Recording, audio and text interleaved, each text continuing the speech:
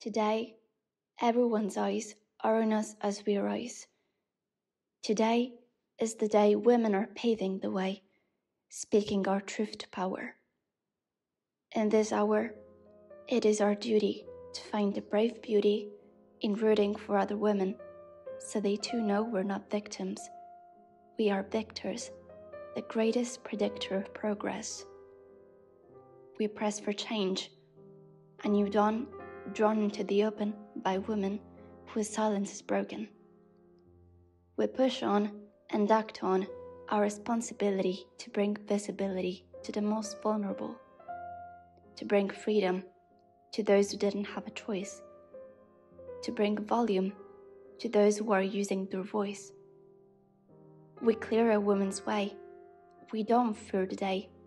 She steps into the light because we are with her every step of the fight. There is a lot at stake, but making a difference always takes great courage.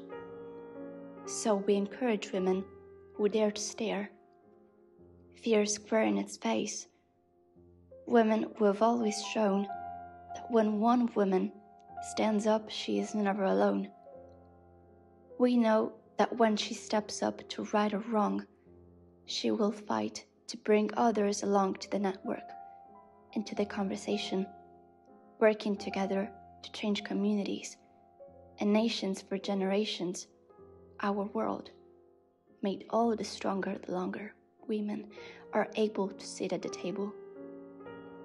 It is her strength, her story, and her spirit which inspires other vital voices to speak up when they hear it.